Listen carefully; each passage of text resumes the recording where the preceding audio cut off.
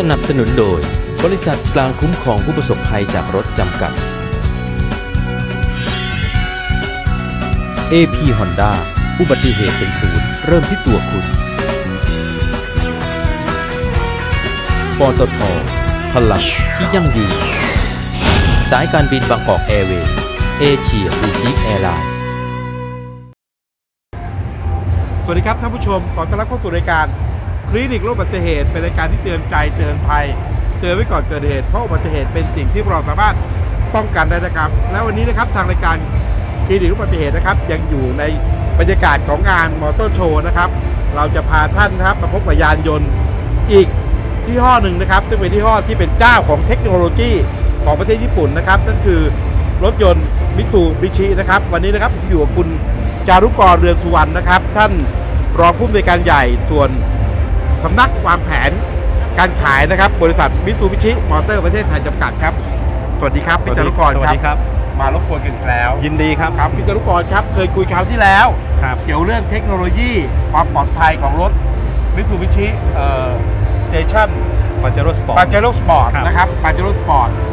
วันนี้เราจะมาคุยกันว่านอกจาก Pajero Sport แล้วนะฮะเทคโนโลยีความปลอดภัยทั้ง active และ passiveีฟ โดยส่วนรวมของรถมิตซูบิชินะครับตอนนี้มีอะไรบ้างครับ ครับก็ก็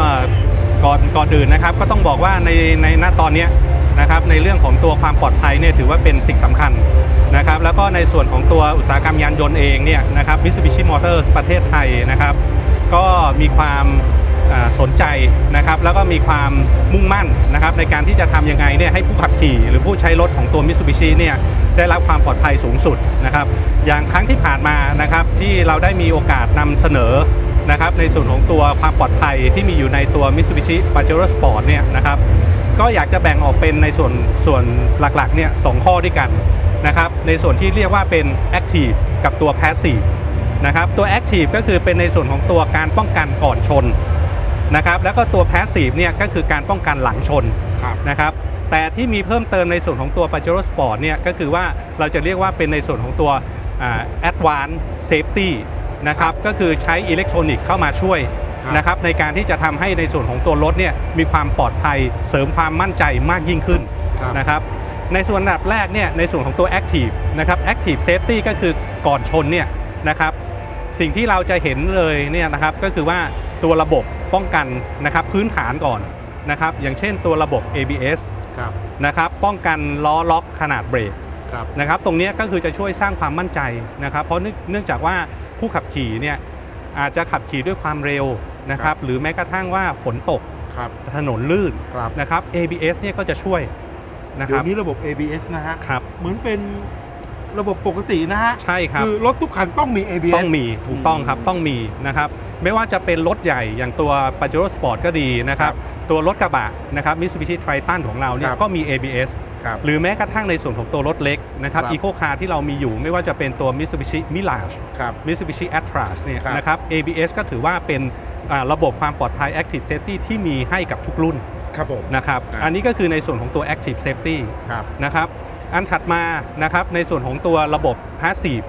นะครับ Passive Safety เนี่ยก็คือว่าหลังการชนเนี่ย นะครับสิ่งสำคัญก็คือทำยังไงให้ผู้โดยสารผู้ขับขี่เนี่ยที่อยู่ภายในห้องโดยสารเนี่ยได้รับบาดเจ็บน้อยที่สุด บาดเจ็บน้อยที่สุดหรือครับไม่บาดเจ็บเลยถูกต้องครับครับ แต่สิ่งที่จะเกิดขึ้นก็คือว่าตัวโครงสร้างของรถเนี่ยจะเป็นตัวรับแรงกระแทกแทนครับนะครับเพราะฉะนั้นในส่วนของตัว Passive เนี่ยอันดับแรกที่เราเห็นเลยก็คือโครงสร้างรถครับนะครับในส่วนของตัว Mitsubishi อ่าทุกรุ่นเนี่ยนะครับเรามีโครงสร้างนิรภัย Light Body ครับผมนะครับซึ่งจะอ่าเป็นตัวโครงสร้างที่รับแรงกระแทก นะครับในส่วนของการชน ไม่ว่าจะเป็นด้านหน้าด้านข้าง ด้านท้ายเนี่ยครับนะครับเพราะฉะนั้นแม้ว่าจะชนนิดเดียวเนี่ย ครับสิ่งที่จะเกิดขึ้นก็คือว่าโครงสร้างของรถเนี่ยจะค่อนข้างรับรับแรงกระแทกก็คือจะจะบุบจะอะไรต่างจะซับแรงกระแทกๆจะไว้ซับแรงกระแทกไว้ครับใช่ ผม แต่ว่าผู้โดยสารเนี่ยจะถือว่าไม่ได้รับความเอ่อกระแทกอะไรเลยครับผม นะครับก็คือจะปลอดภัยอันนี้คืออันแรก อันนี้เรียกเทคโนโลยียานยนต์สมัยใช่ใหม่ ครับ สมัยใหม่เลยรับแรงกระแทกก็คือในเรื่องของตัวโครงสร้างนิรภัยไลท์บอดี้ครับ นะครับจุดที่2นะครับถ้าเกิดเหตุการณ์เกิดขึ้นเนี่ยแน่นอนในเรื่องของตัวถุงลมนิรภัย นะครับเกิดเหตุสุดวิสัยจริง ๆ ไม่อยู่จริง ๆ เบรกไม่อยู่รถมาชน ในตำแหน่งที่ถูกข้อกำหนดเอาไว้เนี่ยนะครับถุงลมนิรภัยก็จะทำงานครับนะครับ แต่การทำงานของถุงลมนิรภัยเนี่ยควรจะต้องคู่กันกับเข็มขัดนิรภัย ใช่ เพราะฉะนั้นนะครับ ที่พี่จารุกรบอกคือขึ้นรถทุกครั้งต้องต้องคาดเข็มขัดนิรภัยนะครับผม ไม่เพียงแต่เฉพาะผู้โดยสารตอนหน้านะครับ ผมอยากให้ทุกท่านเนี่ยไม่ว่าจะเป็นแถวที่ 2 ก็ดีหรือแถวที่ 3 ก็ดีเนี่ยได้คาดเข็มขัดนิรภัยด้วยครับ นะครับเพราะฉะนั้นเข็มขัดนิรภัยเนี่ยจะทำงานได้ดีเนี่ยคู่กับถุงลมนิรภัย ครับ อันนี้ต้องบอกนะครับ ท่านผู้ชมนะครับ ครับ อันนี้เป็นการแนะนำนะครับจากครับเจ้าของผลิตภัณฑ์รถยนต์นะครับ ใช่ครับ บอกว่าทุกตำแหน่งบนรถต้องคาดเข็มขัดนิรภัยถูกครับต้องผม นะครับเพราะฉะนั้นในส่วนของตัวเข็มขัดนิรภัยเนี่ยก็จะเป็นตัวช่วย ลังนะครับตัวผู้โดยสารเนี่ยไม่ให้ไปไปข้างหน้าเวลาเกิดการชนนะครับและเดี๋ยวนี้เนี่ยเทคโนโลยีของเข็มขัดนิรภัยเนี่ยก็คือแบบผ่อนแรงอัตโนมัติ ดึงกลับอัตโนมัติครับนะครับเพราะฉะนั้นเวลาเราขับด้วยความเร็วเนี่ยนะครับต้องนึกภาพนะครับเวลาเกิดอุบัติเหตุปุ๊บเนี่ยมันจะมีแรงส่ง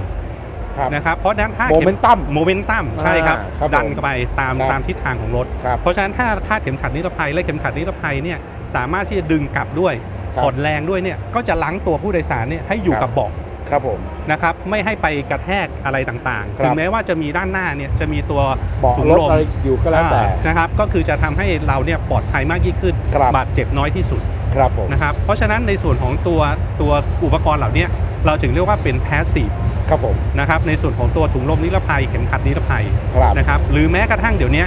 พวงมาลัยเองเนี่ยครับก็สามารถที่จะยุบตัวได้ด้วย โอ้ นะแหคมรับ เมื่อก่อนชนทีนะพี่จารุกรนะโอ้ใช่เคครื่รัอบงยนต์ดันมาที่ถูกต้อง พวงมาลัยมากระแทกแทกอัดถูกหน้าต้อองกตายใช่สมัยคผรับมเด็กๆใช่นะครับใช่ข่าวครับตรงนี้บ่อยมากใช่ครับ ปัจจุบันเป็นยังไงครับพี่ ปัจจุบันเนี่ยตัวพวงมาลัยเนี่ยยุบตัวได้ครับ เมื่อเกิดอุบัติเหตุ อืม เพราะฉะนั้นเนี่ยเวลาแรงกระแทกปุ๊บเนี่ยพวงมาลัยเนี่ยมันจะมีท่อนนะครับในการท่อนที่หนึ่งท่อนที่สองเนี่ยครับ เขาก็จะหักยุบตัวลงไปเลย โอ้ ยุบตัวเพื่อให้เนี่ยไม่มากระแทกกับตัวผู้โดยสารหรือครับ ผู้นั่งครับ นะครับ และอีกจุดหนึ่งเนี่ยที่เป็น passive ก็คือในเรื่องของตัวแป้นเบรกครับเดี๋ยวนี้รถทั่วไปเนี่ยเป็นเกียร์อัตโนมัติครับผมเพราะฉะนั้นเวลาเหยียบเบรกแป้นเบรกเนี่ยเวลาเกิดอุบัติเหตุเนี่ยแป้นเบรกก็จะยุบตัวด้วย ครับผมไม่มาดันเท้าไม่มาดันในส่วนของตัวขาของเราให้บาดเจ็บครับนะครับเพราะฉะนั้นในส่วนของตัวพวงมาลัยยุบตัวได้ก็ดี หรือแป้นเบรกที่ยุบตัวได้เวลาเกิดอุบัติเหตุเนี่ยครับก็เป็นอีกหนึ่งในเรื่องของตัว passive ครับผมนะครับ safety ที่ทำให้ ผู้ขับขี่นะครับผู้โดยสารเนี่ยมีความสบายใจมากขึ้น ครับ เมื่อเกิดอุบัติเหตุครับนะครับ อ่าคราวนี้ผมอยากนำเสนอในส่วนของตัวที่ว่าเป็น advanced อ่านะครับผม Advanced Technology ที่พูดแต่แรกเนี่ยคือคือระบบพื้นฐาน พื้นฐานทั่วๆไปของรถยนต์เนี่ยใช่ครับ ผลิตภัณฑ์ของมิตซูบิชิเนี่ยใช่ครับมีอยู่แล้วถูกต้องครับ ผมครับ คราวนี้ก็คือมาในส่วนของตัวที่เป็น Advanced Technology นะครับ ครับ เป็นเอ่อตัว Advanced Safety ครับ นะครับ เริ่มต้นเนี่ยเราก็เอานำมาอยู่ในตัว Mitsubishi Pajero Sport ของเราครับผมนะครับอย่างแรกเลยนะครับที่เราพยายามที่จะให้ลูกค้าคนไทยได้ใช้เนี่ยครับนะครับก็คือระบบเตือนการชนด้านหน้าตรง ครับพร้อมระบบช่วยชะลอความเร็ว เป็นยังไงครับนะครับ เตือนการชนเตือนด้หการชตนเนี่ยชื่อก็บอกอยู่แล้วนะคครัรับบเตือนการชนก็คือเมื่อขับรถตามกันไปเนี่ยครับ นะครับที่ความเร็วเนี่ยไม่เกิน 30 กิโลเมตรต่อชั่วโมงครับผม นะครับเมื่อผู้ขับขี่เนี่ยขับไปแล้วไม่เกินเนี่ยครับ ระบบจะเตือนแล้ว ครับนะครับเตือนการชนด้านหน้าตรงเนี่ยจะส่งเสียง ส่งเสียงไม่ใช่ว่าส่งเสียงอะไรนะครับ ส่งเสียงคลางของตัวระบบเบรกครับ เพราะว่าตัวระบบเบรกเนี่ยจะถ่ายกำลังนะครับครับเสริมน้ำมันเบรกครับเข้าไปในระบบครับ ก็จะได้ยินเสียงดังเคิร์นะครับอ๋อก็คือจะช่วยเตือนแล้วครับนะครับเอ้ยเกิดอะไรขึ้นครับโดยสัญชาตญาณของผู้ขับขี่เนี่ยผู้ขับขี่ก็ แตะเบรกเหยียบเบรกเลยเหยียบเหยียบเบรกอันนี้ก็คือจะจะช่วยแล้วแหมเหมาะนะครับสำหรับในเมืองเลยครับพี่ใช่ครับกำลังขับรถตามไปนะครับครับเผลอๆเลอๆนะครับเปลี่ยนธงเปลี่ยนเทปหยิบนู่นหยิบนี่ใช่นะครับมีรถหน้าเบรกอืมเราจะได้เบรกได้ทันใช่อันนี้ก็คือจะช่วยครับจะช่วยนะครับก็คือระบบนี้จะเตือนแล้วช่วยครับชะลอความเร็ว แล้วผู้ครับขับขี่ก็ต้องรีบเหยียบเบรกครับผมนะครับอันนี้ก็คือมีอยู่ในตัว Pajero Sport ครับนะครับและที่สำคัญเนี่ย ระบบนี้เช่นเดียวกันครับนะครับเราเอาไปอยู่ในน้องใหม่ของเรา น้องเล็กของเราครับนะครับก็คือ Mitsubishi Mirage ครับและ a t t a c h ซึ่งเป็นรถอีโก้คาร์ถูกต้องซึ่งเป็นรถเป็นรถเล็กที่แบบอู้ราคาถูกใช่ไม่น่าครับเชื่อมนจะมีระบบดีๆอย่างนี้อยู่ ถูกต้องครับ เพราะฉะนั้นตรงเนี้ยเราก็เลยเล็งเห็นว่าเอ๊ะระบบพวกนี้นะไม่จำเป็นที่ต้องอยู่ในรถที่มีขนาดใหญ่ครับแต่รถที่มีขนาดเล็กเองเนี่ยผู้ขับขี่หรือผู้ใช้งานเนี่ยก็ให้ความสำคัญกับในเรื่องความปลอดภัยครับนะครับ แต่ในส่วนของตัวระบบอ่า เตือนการชนด้านหน้าตรงเนี่ยและระบบช่วยชะลอความเร็วเนี่ยที่อยู่ในมิลาชและถาของเราเนี่ยต้องขอเน้นนะครับว่าอยู่ที่ความเร็วต่ำครับผมความเร็วต่ำก็คือว่าที่ความเร็วที่ไม่เกิน 15 กิโลเมตรต่อชั่วโมง เหมาะสำหรับในเมืองเลยถูกต้กองรุงเทพรถติดถูกต้องติดอย่างเงี้ยแหมใช่ใช้คได้รับดีนักแหละใช่ครับผมเพราะฉะนั้นเพราะฉะนั้นในส่วนของตัวระบบตรงนี้ก็มีเช่นเดียวกัน ก็คือครัจะบส่งสัญญาณเตือนครับนะครับช่วยชะลอความเร็วอ่านะครับอันนี้ก็คือเป็นในส่วนของตัว Advanced Safety ครับผมนะครับอันที่หนึ่ง ครับตัวที่2นะครับก็คือระบบตัดกำลังเครื่องยนต์ชั่วขณะครับเมื่อเหยียบคันเร่งอย่างรุนแรงและรวดเร็วอืมนะครับชื่อตรงเนี้ยค่อนข้างยาว แต่มันบอกความหมายในตัวได้ชัดเจนครับผมนะครับว่าตัดกำลังเครื่องยนต์ชั่วขณะ เมื่อเหยียบคันเร่งอย่างรุนแรงและรวดเร็วก็คือว่าโดยทั่วไปอะครับ เวลาลูกค้าเผลอครับนะครับเวลาเข้าเกียร์อัตโนมัติเนี่ยบางทีครับไม่ทราบครับนะครับไปเข้าเกียร์ถอยหลังนึกว่าเข้าเกียร์เดินหน้า แหมตกตึกอย่างนี้อะไรอย่างเงี้ยใช่นะครับเพราะฉะนั้นตัวเนี้ยระบบนี้ก็จะพอเหยียบปุ๊บพลาดไปปุ๊บเนี่ยเครื่องก็จะตัดกำลังเลยครับพอตัดกำลังปุ๊บผู้ขับขี่เนี่ยก็จะทราบแล้วว่าครับเอ้ยเกิดเหตุการเราณ์อะไรผิดขึ้แล้นวเราผิดแล้วครับเหยียบเบรกครับผมสัญชาตญาณโดยทั่วไปก็จะเหยียบเบรกครับเพราะฉะนั้นในส่วนของตัวระบบตัดกำลังเครื่องยนต์ชั่วขณะนะครับเมื่อเหยียบคันเร่งอย่างรุนแรงและรวดเร็วเนี่ยก็จะมีอยู่ในตัว Pajero Sport ของเราครับนะครับซึ่งจะตัดกำลังเครื่องยนต์เนี่ยนะทั้งด้านหน้าและด้านหลัง ครับนะครับในขณะเดียวกันมิราชและแอด a ของเรา ครับ ก็มีระบบนี้เช่นเดียวกัน อ่ายังมาใส่ในรถเล็กอีกถูกต้องด้วยครับโแต่ของตัวมิราชกับแอด a เนี่ยจะอยู่อ่าตัดกำลังเครื่องยนต์เนี่ยในส่วนของตัวด้านหน้าครับ นะครับเพราะเนื่องจากด้านท้ายเนี่ยเนื่องจากรถมีขนาดเล็กครับ นะครับเพราะฉะนั้นในส่วนตรงนี้เนี่ยเราก็มองว่าผู้ขับขี่เนี่ยสามารถที่จะดูแลและควบคุมทางด้านท้ายได้ครับผมนะครับเพราะฉะนั้นก็จะมีจุดแตกต่างกันเล็กน้อยครับผมนะครับแต่ทั้งหมดเนี่ยทั้ง 2 อันเนี่ยนะครับสองฟังก์ชันของเราเนี่ยมีอยู่ทั้งในตัว Pajero Sport และ Mirage กับ a t r a s ครับผมนะครับเพราะฉะนั้นอันเนี้ยก็คือเป็นตัว Advanced Safety อีกอันหนึ่งครับนะครับตัวที่ 3 ที่อยากแนะนำครับผมนะครับก็คือให้เกิดความสะดวกสบายมากยิ่งขึ้นเนี่ยก็คือในส่วนของตัวสัญญาณเตือนจุดอับสายตา ครับนะครับ ก็คือเวลาเราขับรถนะคครัรับบพี่มนชัยขับรถไปเนี่ยบางทีบางครั้งเนี่ยเราอาจจะอยากจะเปลี่ยนเลนครับ เราอาจจะไม่เห็น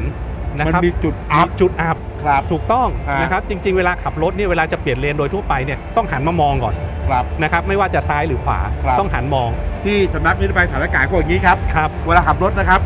จะเปลี่ยนไปทางซ้ายนะเขาบอกมองปุ๊บให้อย่างนี้นิดนึถูงกต้องสั้ใช่นครับๆนิดเดียวใช่ครับช้าๆนะฮะเอ้ยไม่ขอโทษนะ เร็วใช่ ๆปุ๊บไม่ใช่มองนี่อ่าเสร็จทางหน้าชนใช่ถูกต้อง หรือขวาเนี่ยจะปีกขวาบอกให้อย่างนี้นิดนึงถูกต้องครับ มองนิดนึงนะนั่นครับ นั่นคือหลักการขับขี่ที่ถูกต้องครับ นะครับ อย่าเพิ่งไปเชื่อในสิ่งที่เรายังไม่เห็นครับนะครับ เพราะฉะนั้นสัญญาณเตือนจุดอับสายตาเนี่ยก็เลยครับมาช่วยอืม นะครับ เวลารถมาในมุมอับจริงๆเนี่ยครับ นะครับ เวลาผู้ขับขี่เนี่ย อันนี้จะอยู่ในตัว Pajero Sport เขาจะเตือน เขาจะเตือนอืมเตือนอันแรกก่อนเลยก็คือว่าเตือนโดยมีสัญญาณไฟที่กระจกมองข้าง ปั๊บปั๊บปั๊บ ถูกต้องที่ทั้งซ้ายทั้งขวา แต่พอเมื่อไหร่ที่ลูกค้าเนี่ยนะครับสมมติขับปุ๊บเนี่ยกดสัญญาณแล้วมีไฟขึ้น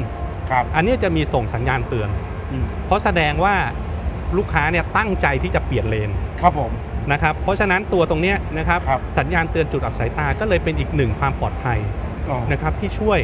ลดสำคัญมากเลยอุบัติเหตุ แล้วผมมองว่ามันได้ใช้งานในชีวิตประจำวันค่อนข้างง่าย ครับผม นะครับการเปลี่ยนเลนซ้ายขวาต่างครับๆนะครับแหมยิ่งบ้านเรานะฮะมอเตอร์ไซค์นี่แป้นแป้นแบบซ้ายขวาใช่ครับขวานะฮะอันนี้ก็อันนี้ก็น่ากลัวจะช่วยมากด้วยครับนะครับจุดอับอ่าต่างๆเนี่ยก็คือว่าจะได้ช่วยนะครับทำให้ครับ ผู้ขับขี่เนี่ยมั่นใจมากยิ่งขึ้นครับผมนะครับอ่า อีกจุดหนึ่งนะครับตัว Safety Advance ของเราอีกจุดหนึ่งเนี่ยก็ครับ คือในเรื่องของตัวอ่ากล้องมองภาพรอบคัน กล้องมองภาพรอบคันครับ นะครับชื่อก็บอกอยู่แล้วนะครับกล้องมองภาพรอบคันก็คือว่าในตัว Pajero Sport ผมเข้าใจว่ารถมีขนาดใหญ่ครับนะครับผู้ชายอย่างเรานะครับหรือแม้กระทั่งคุณผู้หญิงตัวเล็ก ตัวเล็กๆเนี่ยครับ อาจจะแบบๆ มองไม่ชัดเจน มองไม่ชัดเจนหรือว่าเอ๊ะครับ ขับจะง่ายไหมครับกล้องมองภาพรอบคันเนี่ยครับก็คือจะช่วยครับนะครับทำให้การจอดก็ดีครับ นะครับไม่ว่าจะเป็นเข้าซองหรือจอดขนานคถรับ อยจอดเดินหน้าจอดครับหายห่วง โอมคือ มันครับ เห็นได้หมดเลย เห็นหมดเลยถูครักบต้องผมนะครับ เพราะฉะนั้นตรงเนี้ยก็จะให้ความสะดวกในการขับขี่ ครับ โดยเฉพาะกับคุณสุภาพสตรีครับ นะครับ ก็จะเห็นได้ครับ ได้ชัดเจนมากขึ้นเอ๊ะมีอะไรอยู่ไหมครับ นะครับ แล้วก็ของเราเองเนี่ยนอกเหนือจากกล้องมองภาพรอบคันเนี่ยครับ เรายังมีเซ็นเซอร์ด้วยอ๋อ ในการถอยจอดครับผมนะครับก็คือจะช่วยนะครับส่งสัญญาณทั้งเตือนภาพด้วยและเสียงถูกต้องครับครับทั้งภาพและเสียงเลยครับเพราะฉะนั้นตรงนี้เนี่ยถือได้ว่าเป็นในส่วนของตัวอุปกรณ์ครับเสริมความปลอดภัยครับนะครับที่มีอยู่ในตัว Pajero Sport ของเราครับครับตอนนี้นะครับเราได้ฟังไปแล้วนะครับว่า ระบบนะครับการป้องกันนะครับอุบัติเหตุนะครับทั้ง passive active รวมทั้งอุปกรณ์เสริมที่เพิ่มมากขึ้นนี่นะครับใน Pajero Sport และรถ เล็กนะครับของเรานะครับรถครับ eco car ใช่ครับที่บอกนะครับว่ามีอะไรบ้างนะครับ ช่วงนี้เราจะพักก่อนเดี๋ยวช่วงหน้าเราไปดูครับ โอ้โห มีรถแบบนี้แล้วไทรทันล่ะครับมีอะไรบ้างนะครับ ช่วงนี้เราพักสักครู่ก่อนครับ